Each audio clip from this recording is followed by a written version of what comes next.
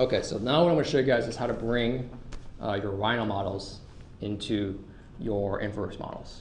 So uh, just for the sake of the tutorial, let's say, let's go to our InfraWorks model real quick. This is a, a basic CAD file that I exported from GIS and I brought into Rhino.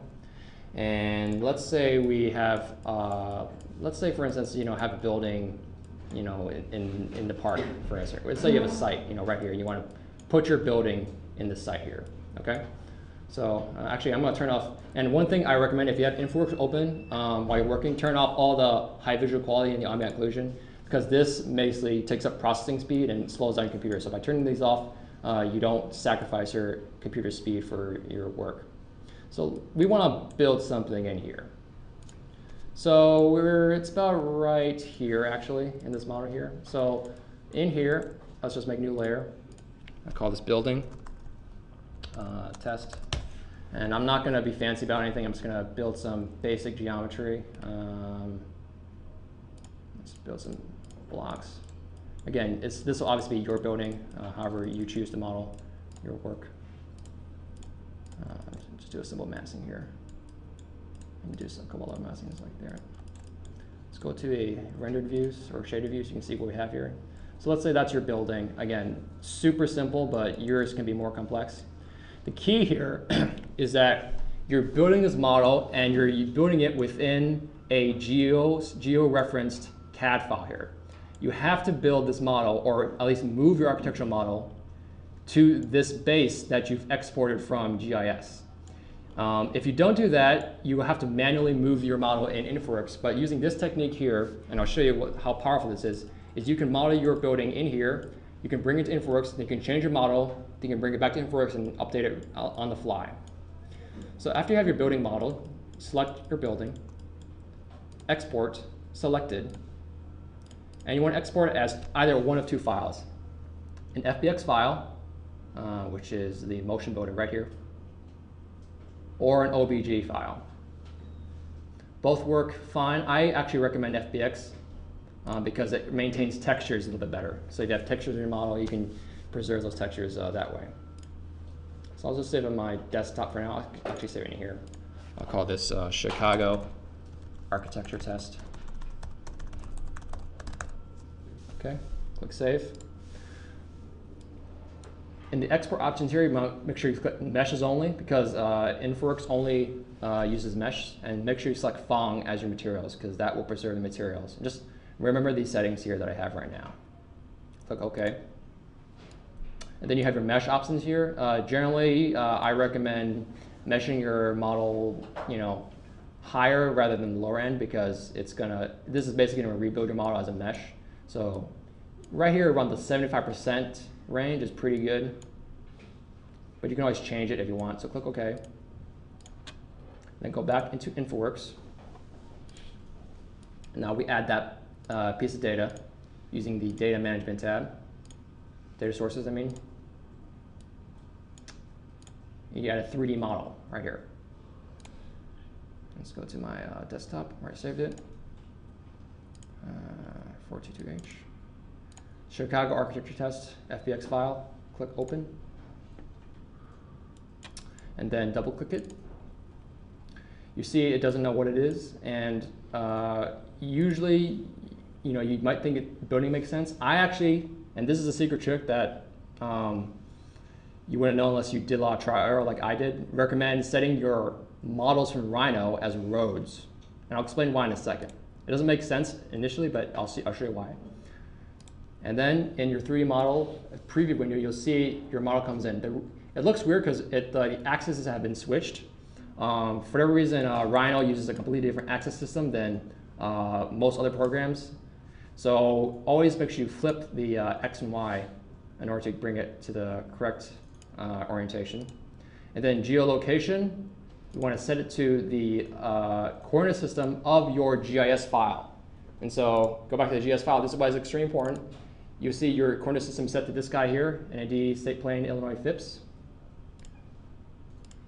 Um, this is what the Rhino model is being built in, so that's therefore that's what the uh, uh, system in here should be as well. So once that's set up like this, click close and refresh.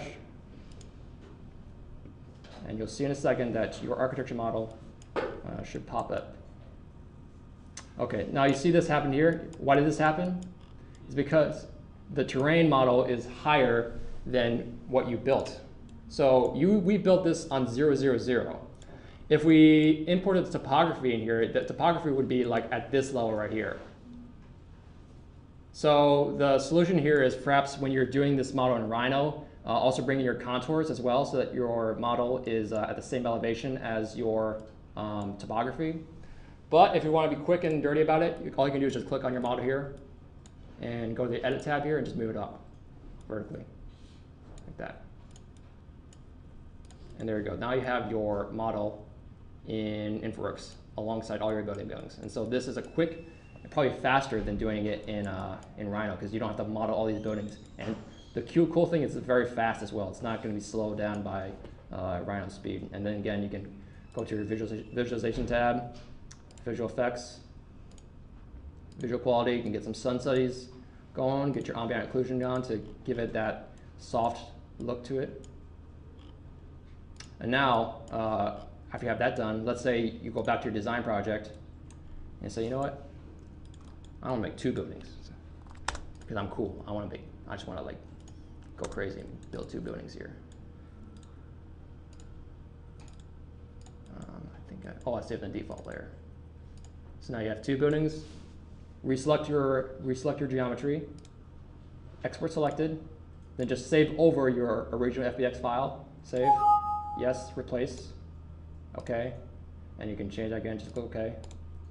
What I need to do now in InfraWorks is refresh it. So go to your uh, data sources tab, and here you have it in rows as architecture model. Right click it and click refresh.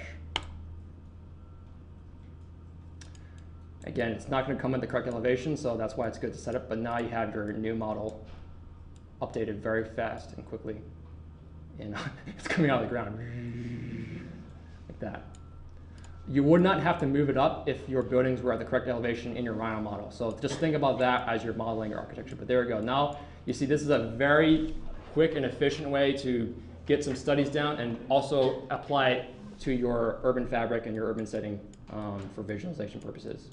And i am showing very, very rudimentary models, but as I showed you guys in the, in the studies I've done previously, we actually model these buildings to floor plates, to windows, and that kind of thing. So if you actually had that level of detail in your model here, it would translate uh, perfectly fine into your InfraWorks model as well, so you can start to do some cool renderings in here. Um, okay, so good question. Um, how do you add textures of buildings in InfraWorks? Now, for buildings such as the ones you're bringing from Rhino, you can't manually change this. You have to change these in, uh, in Rhino. But let's say you have this urban sky skyline here. You want to put like building floors onto it. It's pretty easy to do. Um, double click on your building layer here. And you can set the rule style, base color, and also uh, roof material here. And so uh, rule style, if you click on um, this, I believe. You can choose uh, any kind of facade you want. Now the problem with this is that it's going to uh, pick the same style for everything, but let's just say we want to pick something like that, for instance. And uh, click close and refresh. It's going to automatically uh, give every single building kind of a texture to it. It doesn't look good because it's a, it's, a, it's a plain texture, but you know, for general for general renderings, it's okay. It's it's not the greatest tool in the world. Um, so that's how you add textures to your buildings. But my recommendation, because it looks, I don't know if you guys think, guys think this looks good, but I don't think it looks good at all. Uh, just give it a white color. And so um, go to color and click on white. You see it gives you this color here. Just copy that into each um, line here. Let me click uh, close and refresh. I personally think this is uh, the best way to go for architectural renderings. Again, it gives you that kind of clean white model look that Heather Woofter and Sung Ho love because they build all their models out of styrene. Um, and so this fits right into uh, WashU's uh, style of, of rendering.